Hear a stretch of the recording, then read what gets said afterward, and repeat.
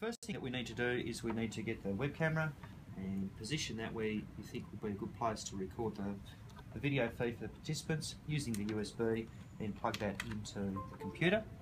The second one is the speakerphone, this one here, it's the Jabra Easy Speak. Again, that's a USB, plug into the machine like so. Uh, that will load its drivers and you can see that that is on there. On the speakerphone, you can increase the volume with the plus, you can decrease the volume with the minus, like so.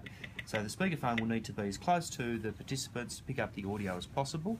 This is the sound in and it is also the sound out. In the next part of this clip I'll show you how to configure that. In the second part of this tutorial I'm going to show you how to configure the input for the audio and video.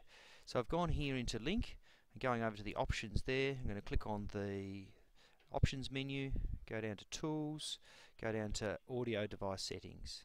So at the moment I've got the audio device uh, set to the headset that I'm talking into, but I want to change that to the Jabra 410. Select that.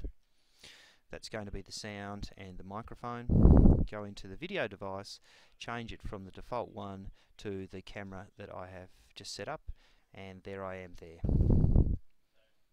Now you should press OK and then you're right to go.